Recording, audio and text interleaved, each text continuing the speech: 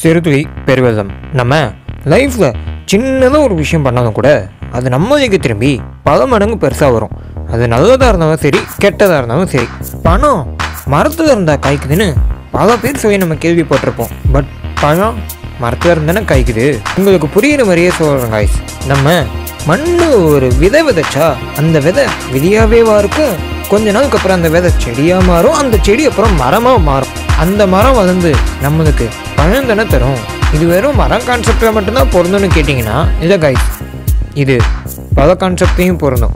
ஒருத்தர் வெறும் இருபதாயிரம் ரூபா ஷேர் மார்க்கெட்டுக்கு இன்வெஸ்ட் பண்ணி இருபத்தி ஏழு வருஷத்துக்கு அப்புறம் நூற்றி முப்பது கோடி அது ப்ராஃபிட் எடுத்தார். அவர் விதைச்ச அந்த சின்ன பணம் விதை எப்படி வளர்ந்து அவருக்கு பணமரமாக வந்தது? வாங்க ஃப்ரெண்ட்ஸ் வீடியோக்குள்ளே போகலாம்.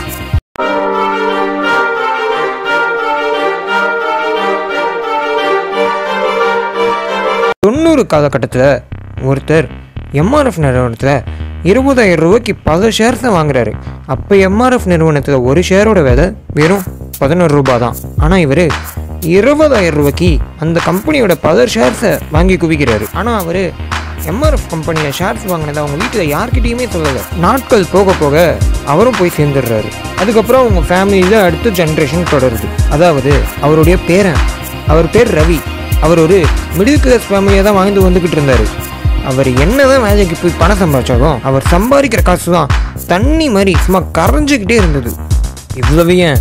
அவர் தங்கியிருக்க வீடு கூட வாடகை வீடு தான் ஸோ வாடகை கொடுக்கணும் கரண்ட் பில் பண்ணணும் எல்லா செலவையும் அவரே பார்த்ததுனால அவருக்கு காசுன்றது ஒன்று கையிலே நிற்கல செலவாகிக்கிட்டே இருந்தது. ஒரு நாள் அவருடைய வீடு ரொம்ப டஸ்ட்டாக இருக்குன்றதுனால வீட்டை சுத்தம் செய்தான்ற வேலையில் இறங்குறாரு.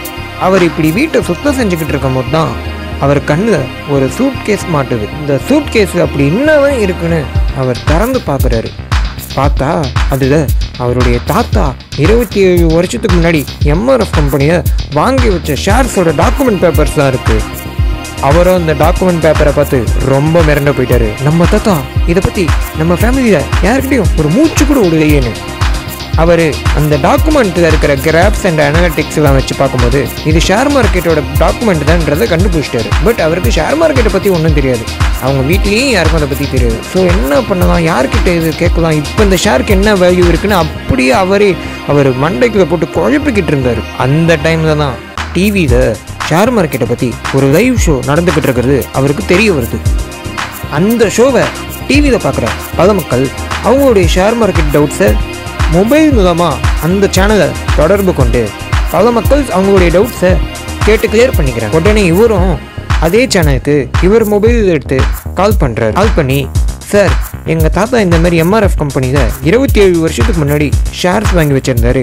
அந்த ஷேரோட வேல்யூ இப்போ எவ்வளோ சார் இருக்கும்னு கேட்குறாரு அதுக்கு அவங்க உங்கள் தாத்தா வாங்கி வச்ச அந்த ஷேர்ஸோட டாக்குமெண்ட்ஸை எனக்கு அனுப்புப்பான்னு அவங்க கேட்குறாங்க இவரும் அந்த டாக்குமெண்ட்ஸ் எல்லாத்தையும் அவங்களுக்கு அனுப்புகிறாரு அதை பார்த்த அவங்க மிரண்டு போயிட்டாங்க. அந்த ஷேரோட வேல்யூ எவ்வளோன்னு அவர்கிட்ட அவங்க சொன்னாங்க.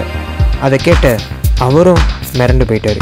அந்த டிவி சேனலை பார்த்துக்கிட்டு இருந்த அத்தனை மக்களும் மிரண்டு போயிட்டாங்க.